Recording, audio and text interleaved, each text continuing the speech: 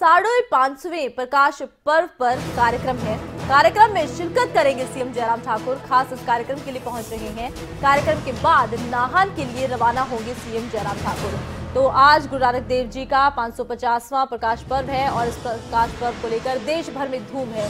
जगह जगह कई कार्यक्रमों का आयोजन किया गया है। धार्मिक स्थलों को प्रकाश से प्रकाशमान किया गया है और पूरे देश में प्रकाश पर्व को लेकर धूम है और जिस तरह से कार्यक्रमों का आयोजन किया गया है, धूमधाम से प्रकाश पर्व को पूरे देश में मनाया जा रहा है। शिमला में भी 550वें प्रकाश उत्सव के लिए खूब तैयारियाँ की गई है। आयोजन किया गया है और इस आयोजन में शिरकत करने के लिए सीएम पहुँच रहे हैं। सीएम जयराम ठाकुर के इस दौरे को लेकर तमाम तैयारियाँ कर ली गई हैं और प्रकाश पर्व में शामिल होने के बाद सीएम नाहन के लिए रवाना हो जाएँगे।